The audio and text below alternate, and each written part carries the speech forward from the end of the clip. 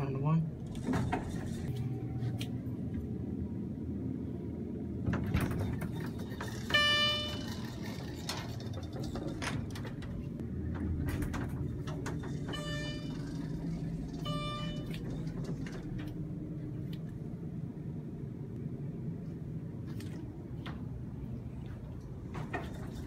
Let's listen to that again.